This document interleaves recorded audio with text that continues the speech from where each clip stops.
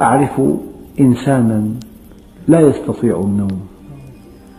والله لو أن الدنيا كلها بيده لدفعها مقابل أن ينام. سنوات طويلة مرض نادر جدا لا ينام صاحبه. فباسمك ربي يعني هذا النوم نعمة منك يا ربي. وينبغي أن أنام وفق منهج رسولك. إذا قلت بسم الله الرحمن الرحيم قبل أن تشرب الماء يعني هذا الماء من نعم الله الكبرى. الناس في البحر يموتون عطشا. لو أن ماء الأرض ملح أجاج ماذا نفعل؟ من جعله عذبا فراتا؟ فالمعنى الأول لباسمك ربي أن هذه نعمة من عندك يا رب.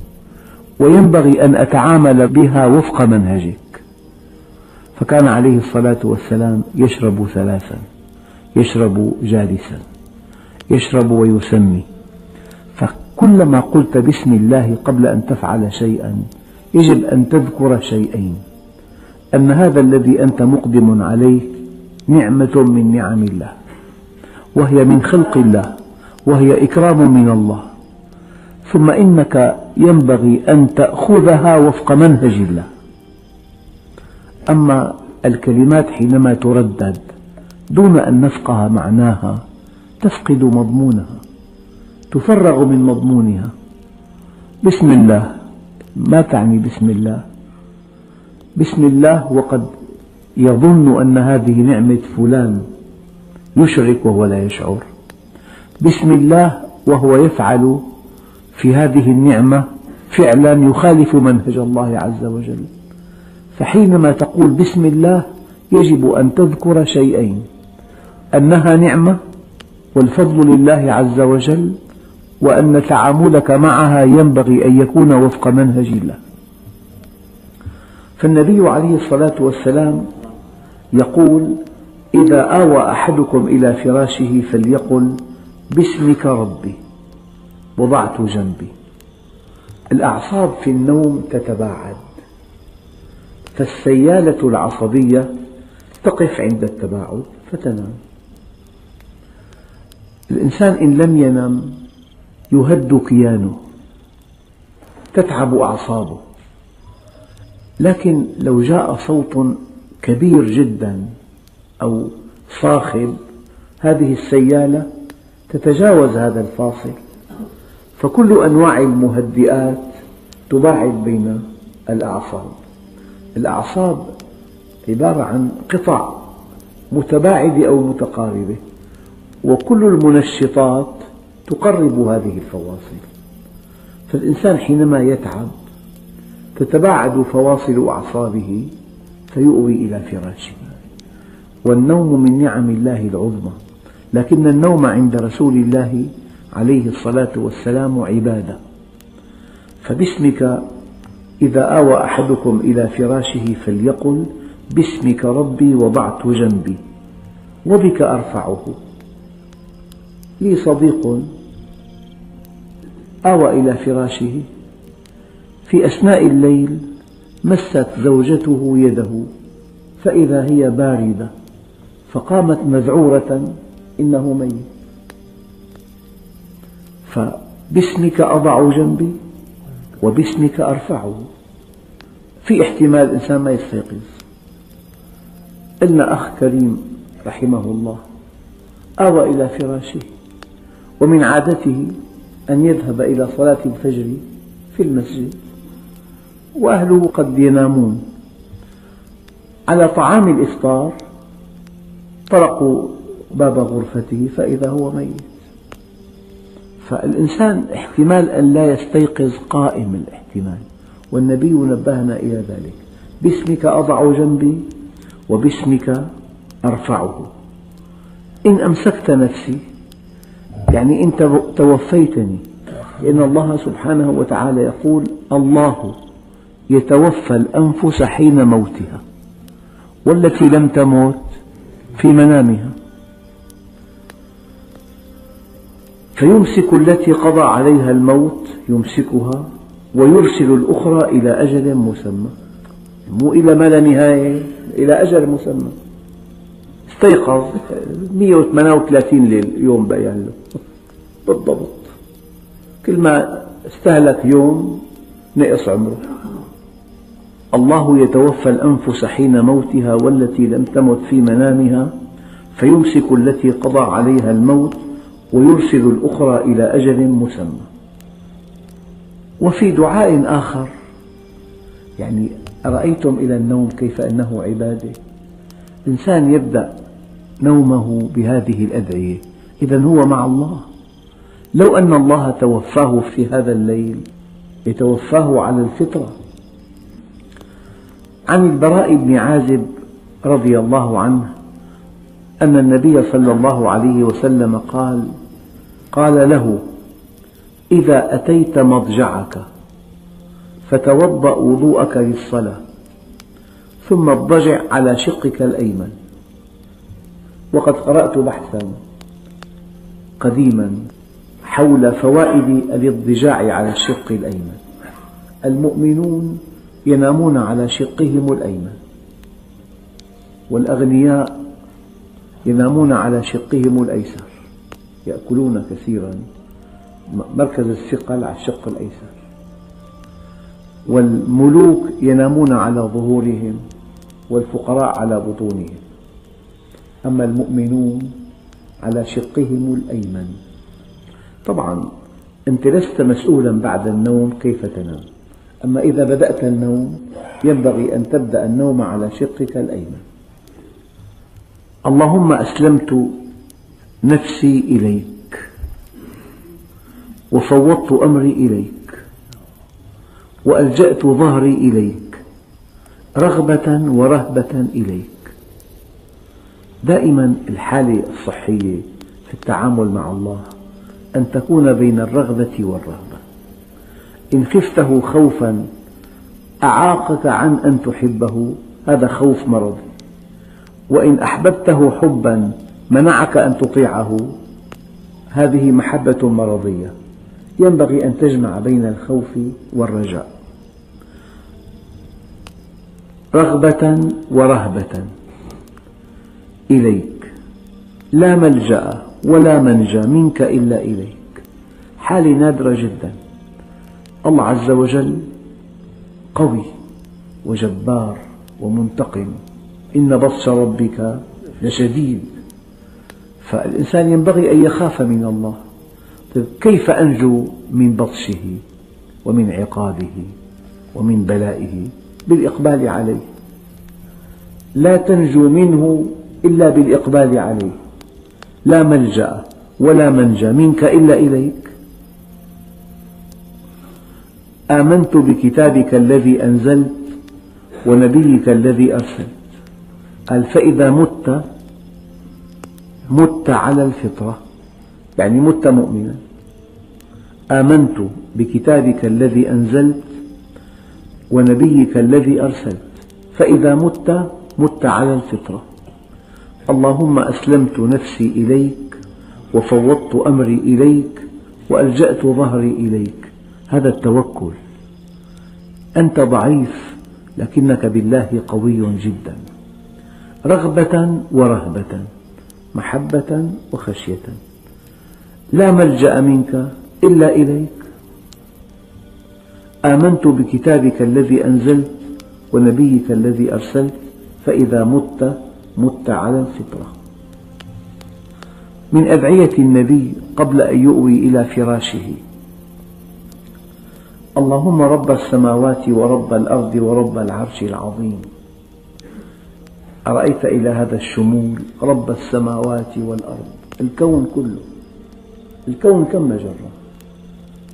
يعني الآن من حدس العلماء أن الكون يزيد عن مليون مليون مجرة. والمجرة فيها تقريبا مليون مليون نجم. مجرتنا درب التبابنة مجرة متوسطة. المجموعة الشمسية كلها هي على شكل عضلة أو مغزل المجموعة الشمسية بأكملها نقطة. هذه المجموعة ما قطرها؟ بيننا وبين القمر ثانية واحدة. مع الشمس ثماني دقائق. المجموعة الشمسية قطرة 13 ساعة زمنية. الضوء يقطع في الثانية الواحدة 300 ألف كيلومتر. بالدقيقة ضرب 60 بالساعة ضرب 60 باليوم ضرب 24 ب 365 يوم ضرب 365 13 ساعة قطر المجموعة الشمسية. أما المجرة المتوسطة قطرها 150 ألف سنة ضوئية. وهي مجرة متوسطة. مليون مليون مجرة. وكل مجرة فيها مليون مليون نجم. شو معنى اللهم رب السماوات والأرض؟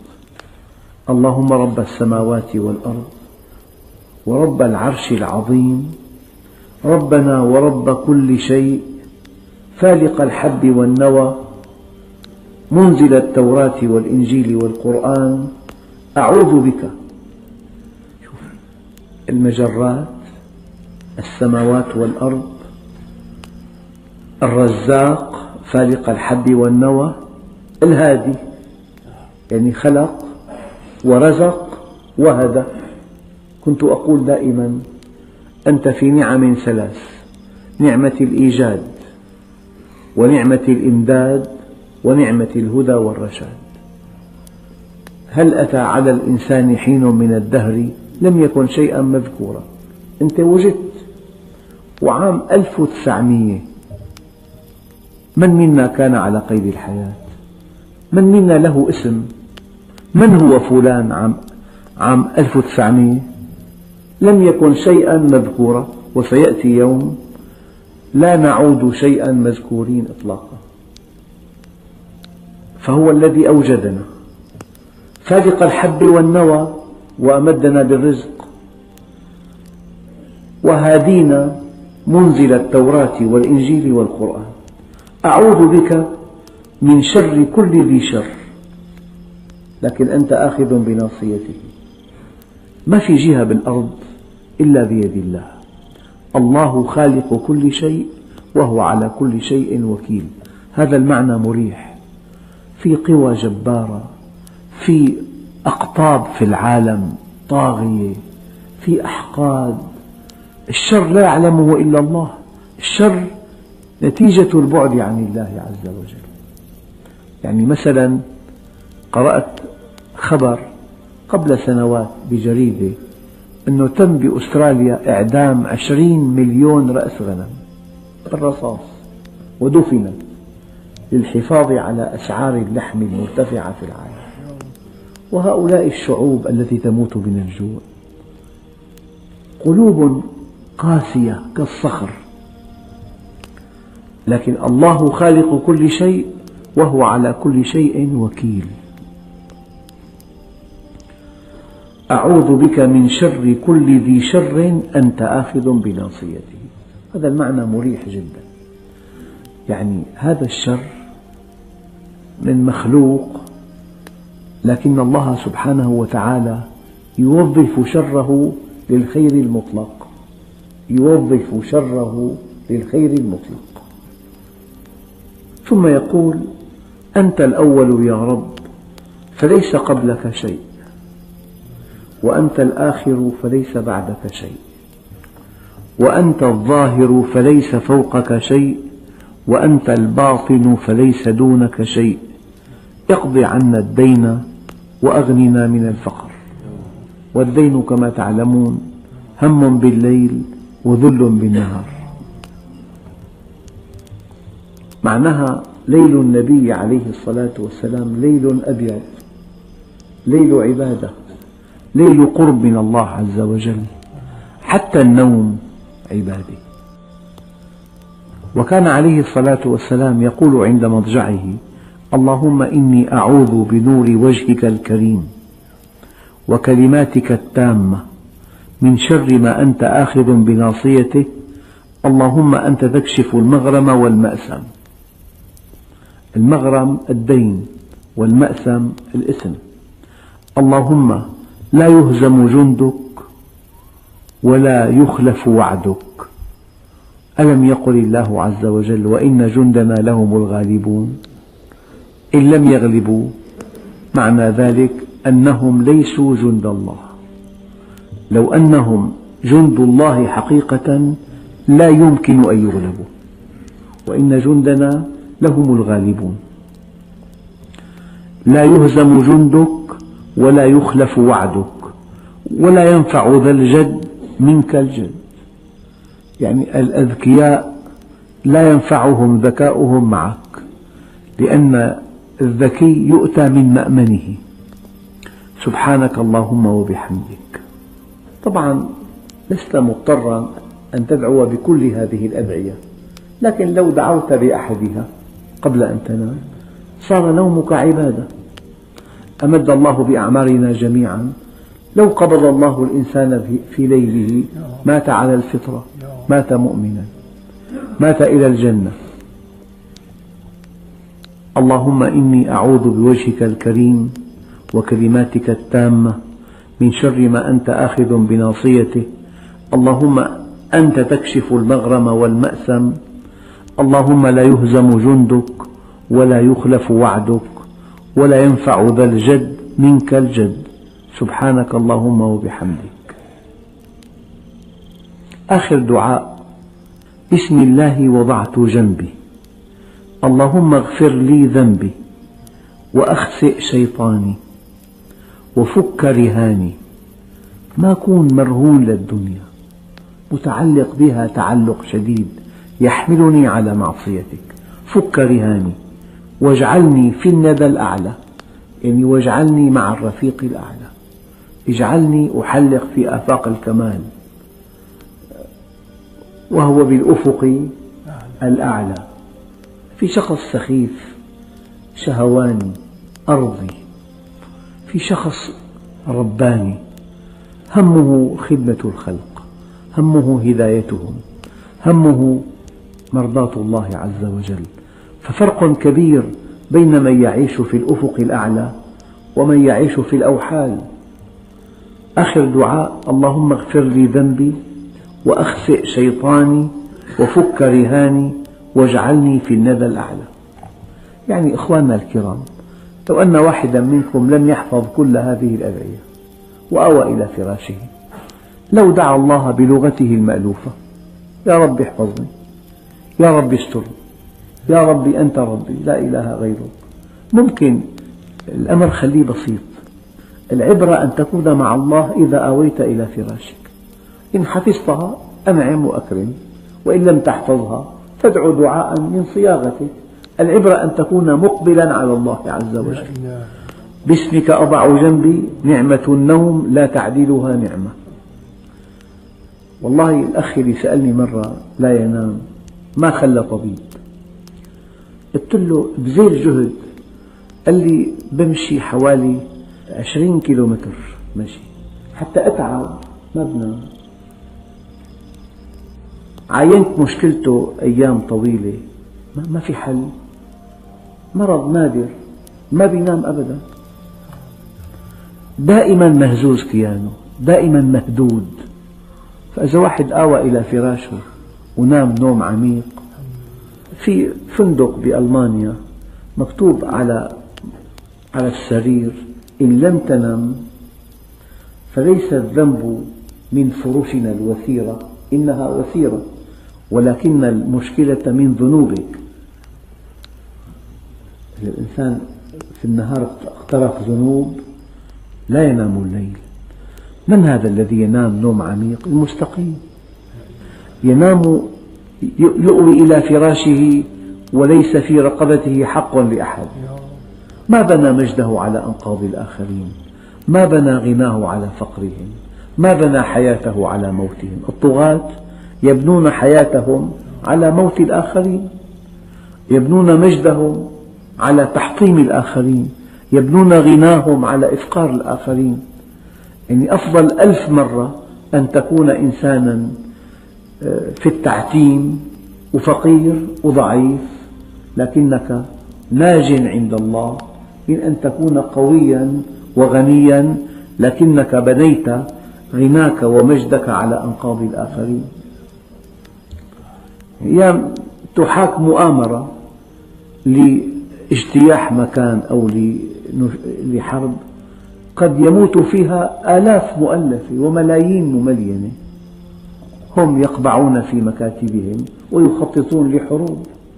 وليست الأخبار عنكم ببعيد. فحينما تنام وليس في رقبتك حق لأحد تنام نوما عميقا. علامة النوم العميق أن الإنسان مستقيم. وفك رهاني ما كن متعلق في الدنيا تعلق يحجبني عنك يا رب. واجعلني في الندى الأعلى أي في الرفيق الأعلى والحمد لله رب العالمين.